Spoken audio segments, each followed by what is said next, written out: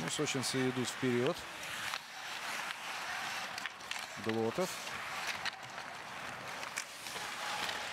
Колготин. Но с разворота бросить не получилось. Подставление и Ланха... И ошибается Лангхаммер. Ошибается Лангхаммер. За 5 минут 13 секунд до сирены сочинцы выходят вперед. Ну, на лице Сергея Светлова все написано. Показали нам и Михаила Йордана. Но как же так? Шабета, в общем-то, ну, не был это бросок. Это, если хотите, такой тычок, что ли, в сторону ворот Лангхаммера. Показывают нам радостного Павела Кукштеля. Это его первый гол в нынешнем чемпионате. Видите,